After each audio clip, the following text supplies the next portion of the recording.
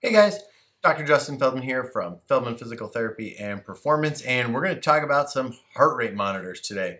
So, we get a lot of questions asking us which is the best heart rate monitor for me, what's the best heart rate monitor on the market, and to be totally selfish, one of the main purposes of this video is so that we can point people to it when they email or send us a message through Facebook or other social media and are asking this question. So, there are a ton of heart rate monitors on the market, and the best one is really based off of your initial use case and what you're really looking to get out of it.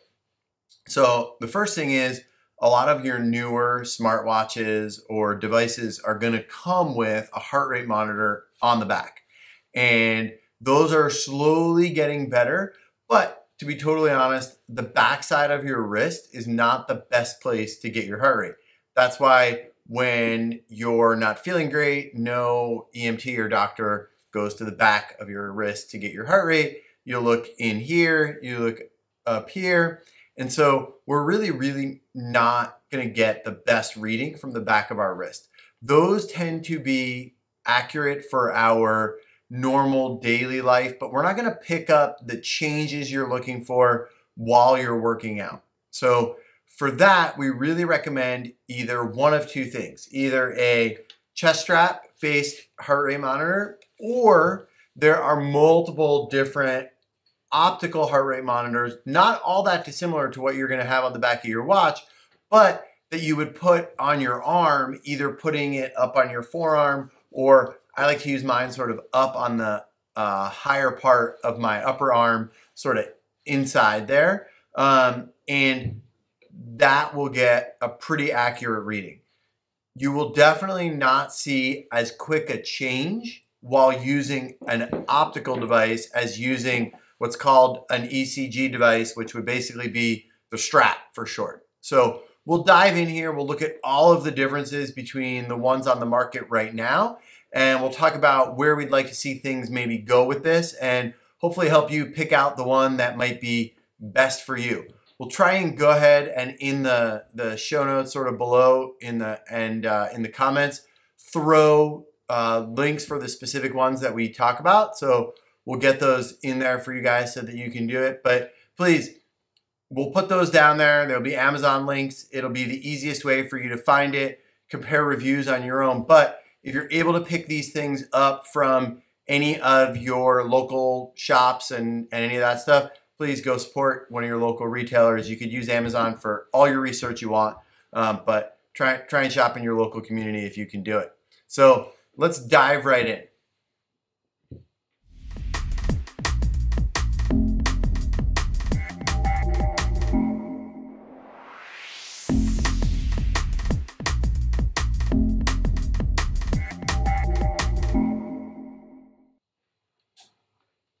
Okay, so first off, let's chat about some of these different straps. And I forgot in the beginning, I'm supposed to do this. I'm not great at it, but please, if you find all this information useful, helpful, jump down below, hit that like button, and uh, make sure you subscribe to our channel so that every time there's something new out, uh, you get that. Also, we throw a YouTube video up with each of our weekly blogs that cover anything you could think of uh, physical therapy, health, fitness wise. So you get notified about all that. And I think there's a little bell down there. You hit that, you'll get a notification when we throw something up. So definitely, we appreciate all the support. Go ahead and do that. So we're going to start off talking about the optical devices here, and then we'll jump into the straps. Um, optical devices, there's basically right now three things on the market.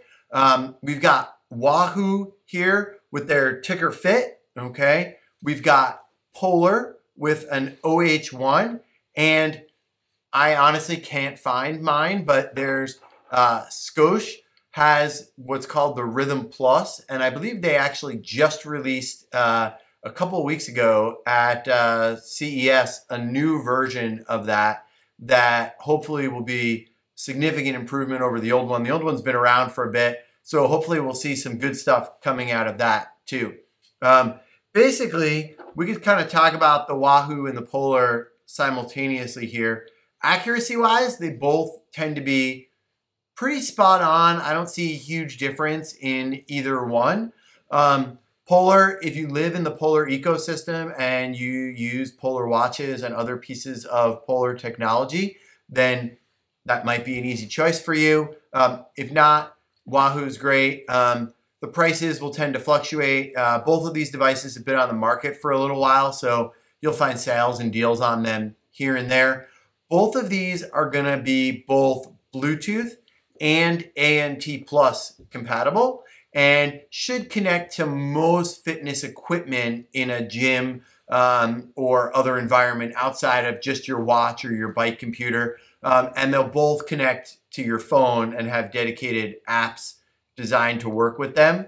Um, the Polar tends to be just a teeny little bit smaller. Um, we'll see how well you guys can see this when I do this, but uh, it actually pops off here and this is the device. It's very small. It's about the size of a quarter, okay? And that slides right into here. That's how you charge that. You pop that off. Um, for charging the Wahoo, the whole thing sits onto a charger and clicks in. Um, I've used this Polar OH1 a ton. I really like it. Um, I like the fit of it and the feel of it a little better. You can see the band's a little bit different. Um, accuracy wise, I don't see a huge difference with this off of the, the strap.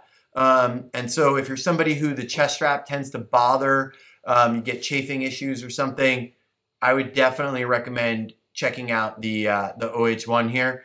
Um, benefit of the dual connection there, the Bluetooth and the ANT. For anybody not familiar with it, with ANT Plus, you are able to connect your device to multiple devices at once. So let's say you have a bike computer and a watch and you want to be sending your heart rate from your strap to both of them. You can do that using the ANT Plus.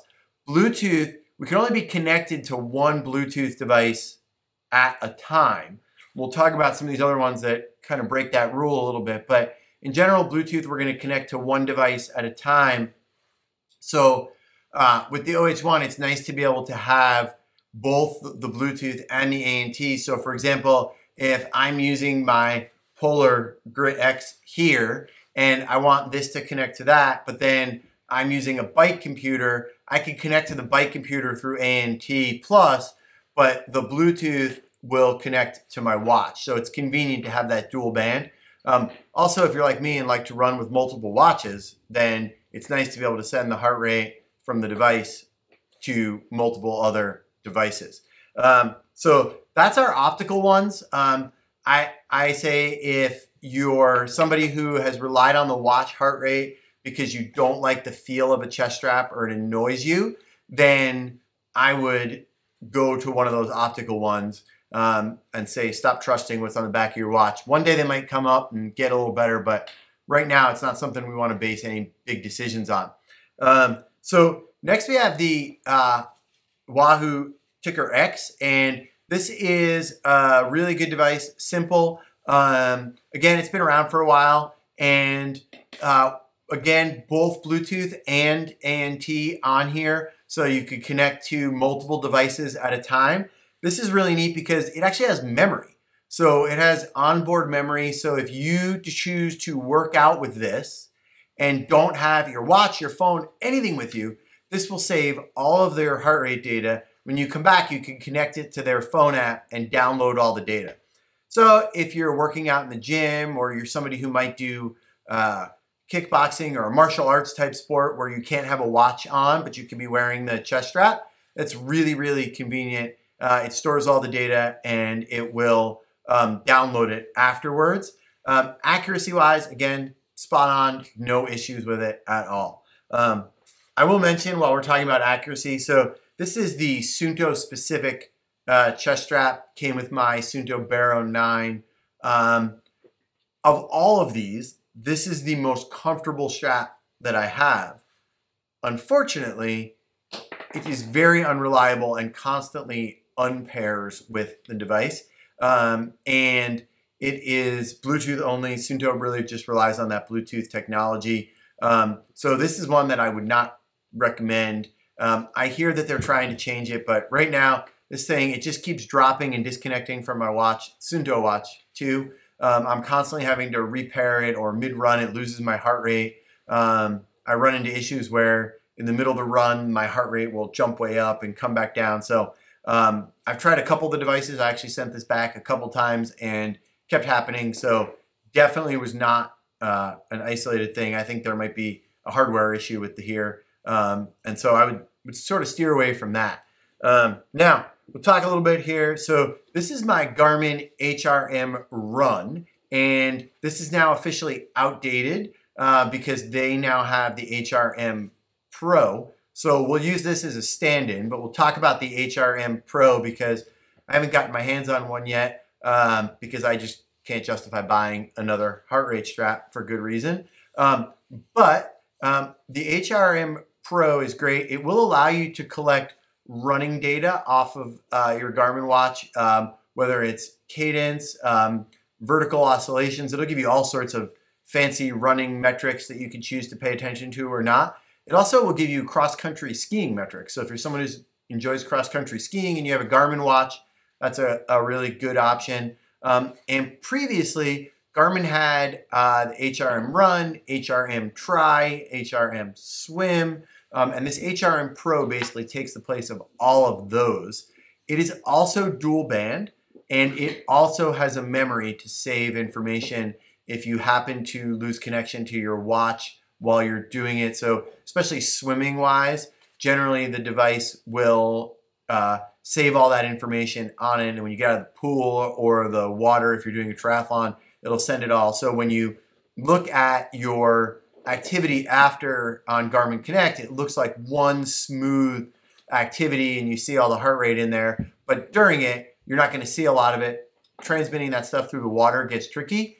And also, it's really hard to see while you're swimming. So stop looking at your watch while you're swimming um, and don't worry about it so much and just swim. Enjoy. Uh, don't get eaten by a shark. Um, now,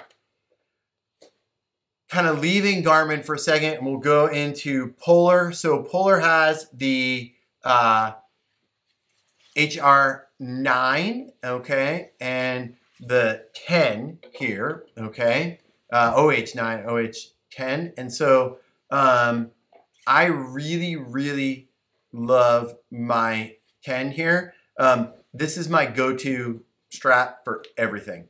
Um, I basically use this exclusively. Um, the 9 is great. Um, we'll talk about the differences.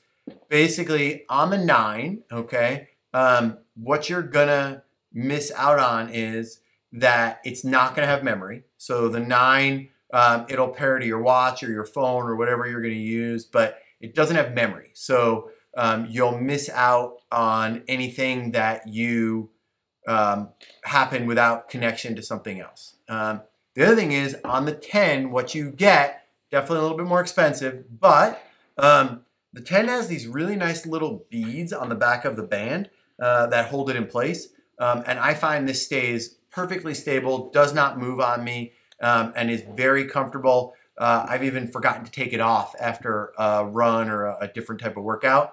Um, this actually is able to transmit to a lot of devices. So not only does this have the ANT Plus and the Bluetooth, like the 9, this will actually transmit to two Bluetooth devices, Bluetooth smart devices at the same time.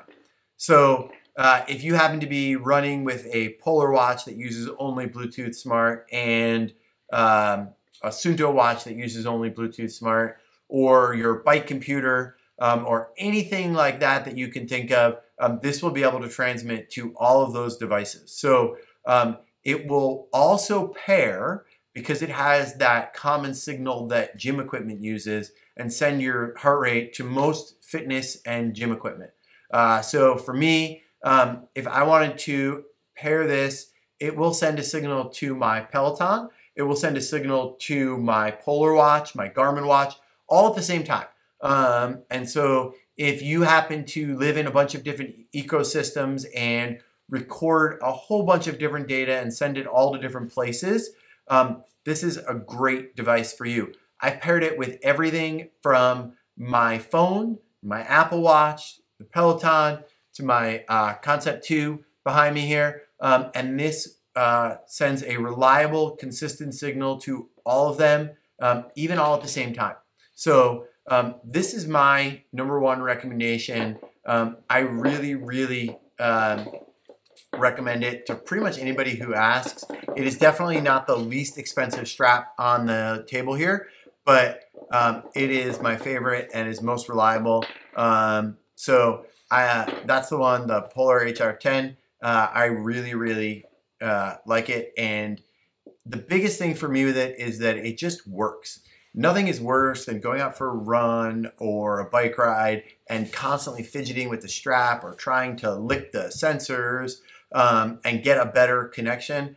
I wet those once, put it on, it connects to each device that I'm using every time, sends a reliable signal, um, and it just works. And so for these sort of things, that's really what we're looking for is something that you don't have to think about and you don't have to worry about. So that is my chat on heart rate monitors. If there's one we didn't cover, something else you'd like to see, any questions you have, go ahead, throw it down in the comments. Uh, if you found a mistake that I made, because I'm sure I made one, throw that down in the comments as well. Um, and we look forward to seeing everybody soon.